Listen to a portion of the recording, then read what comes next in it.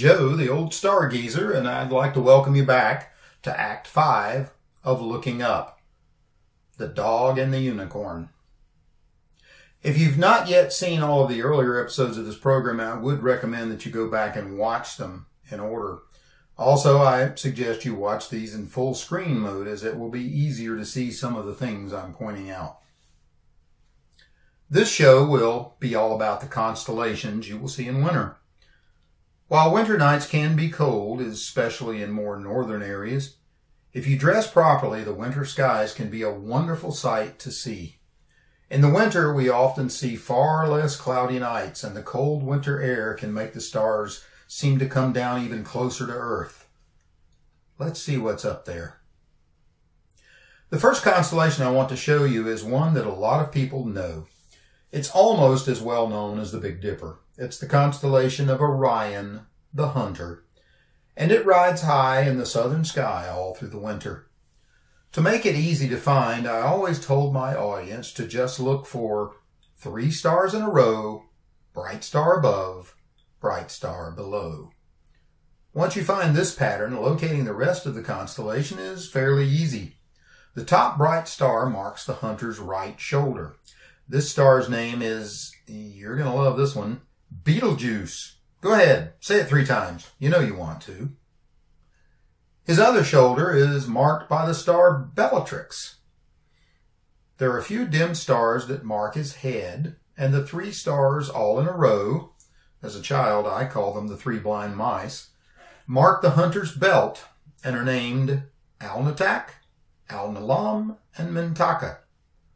Alnitak means girdle, Mintaka means belt, and Alnilam means the bright one, because it's just slightly brighter than the other two. A sword hangs from Orion's belt. The two stars Saiph and Rigel mark his knees. Above his head he holds a club, and in his left hand he holds either a bow, as some see it, or a lion skin taken from the lion Leo, which we'll talk about in the spring sky session. In Greek legend, Orion was another of those mortals who angered the gods by claiming that he could kill any animal that the gods had made. As punishment, the gods sent down Scorpius, the scorpion, to battle Orion. You should remember Scorpius from our Summer Sky episode. Orion and Scorpius fought for seven days and seven nights, and Orion finally managed to defeat the monster but not before Scorpius stung Orion on his foot.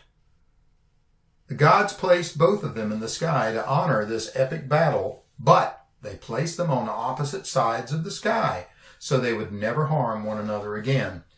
And that's why you see Scorpius in the summer sky and Orion in the winter. If you have access to a pair of binoculars, take a look at the middle of Orion's sword with them you will see a fuzzy patch of light that is clearly not just a star. This is the Orion Nebula, also called M42. We'll talk about those M designations in a later program.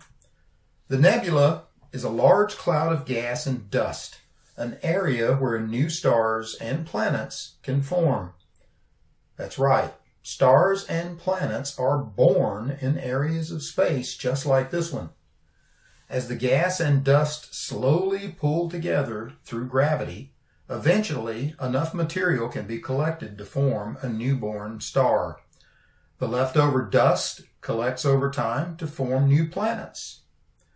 What makes M42 interesting is that you can just barely see it with the naked eye. Through a pair of binoculars, you can see even more detail. With a simple camera and some patience and skill, you can actually get a fairly decent picture of it. I took this picture with my digital camera from my own backyard several years ago. There are better pictures of the nebula, but I like mine. Before we leave Orion, let's talk about the star Betelgeuse. This star has actually been in the news quite a bit over the last year or so because it suddenly dimmed to about one third of its normal brightness. Astronomers all over the world became interested in the star. Betelgeuse is classified as a red supergiant star. This type of star usually has a violent end, exploding and blowing themselves across space in an event called a supernova. Betelgeuse will almost certainly do this one day. This type of event happens very rarely within easy viewing of Earth. When Betelgeuse does explode, the sight will be so bright that, that it will even be visible during the day. Will this happen soon? Unlikely. Will it happen within my lifetime? Eh, also unlikely. It's certainly possible it could happen soon enough for some of you to witness it, however. It will be an amazing once in a lifetime event. Oh, and we haven't yet discussed how far away the stars are from us. The distances are huge beyond anything you can easily imagine. In fact, the distances are so large that astronomers use a measurement for them called a light year. A light year is not a measure of time, but a measure of distance. It is how far a beam of light can travel in a whole year. And since light travels at about 186,000 miles per second, a light year is about 6 trillion miles. That's a 6 followed by 12 zeros.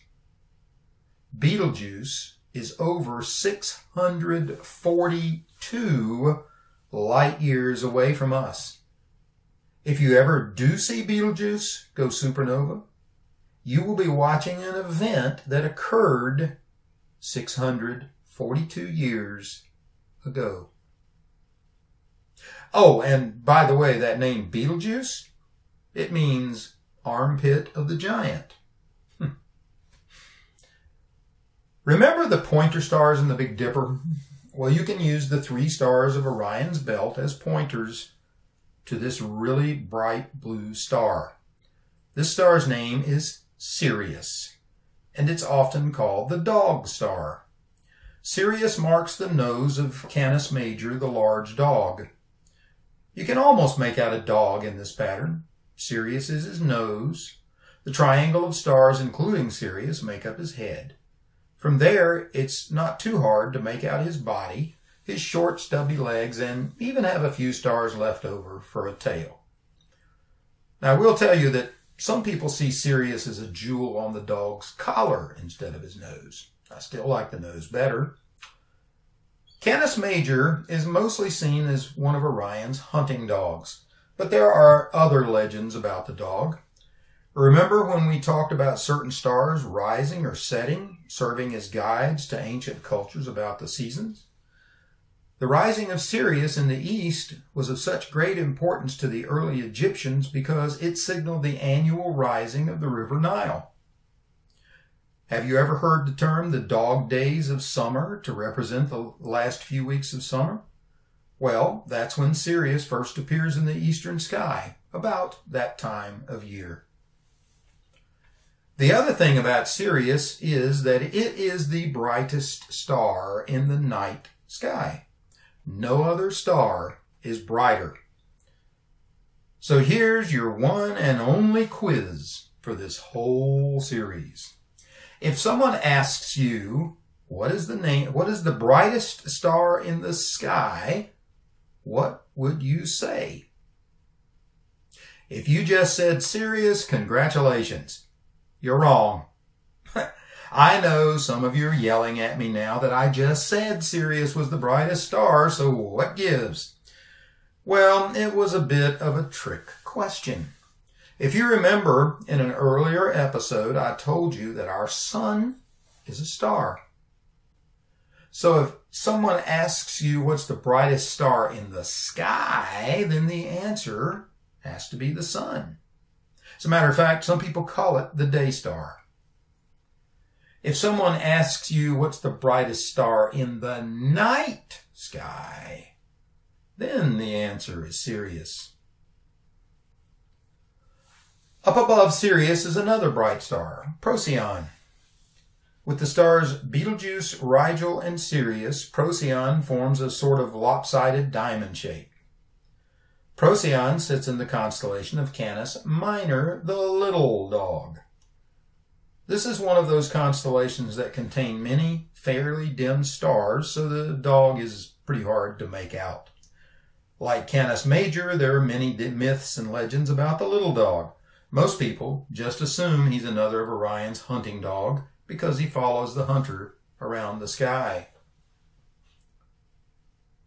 Just to the west of Orion lies the bright star Aldebaran. Aldebaran is part of a V-shaped group of stars that marks the head of Taurus, the bull. It's not hard to make out the bull's head and horns. The body, eh, it's a little vague. This constellation has been seen as a bull for over 4,000 years. The ancient Babylonians and Persians worshipped the bull as a god. Riding on the bull's back is a cluster of brilliant blue stars known as the Pleiades, sometimes called the Seven Sisters. Depending upon the darkness of your sky and how good your eyesight is, you might see five, six, or seven, and maybe even eight stars here.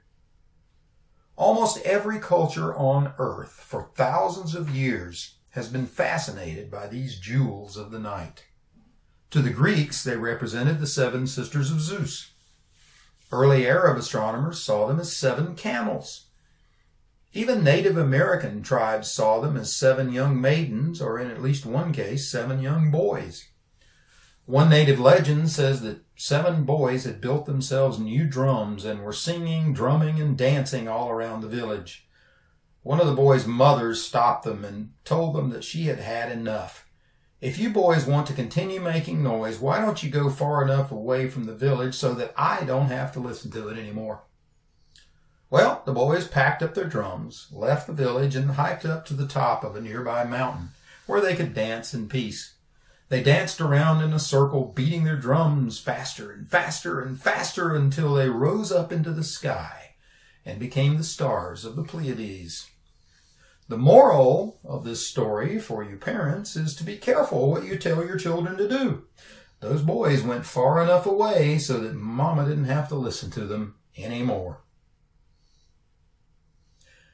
To the east and north of Orion lie two bright stars, so much alike that they could almost be twins. And in fact, they are. They are the stars Pollux and Castor.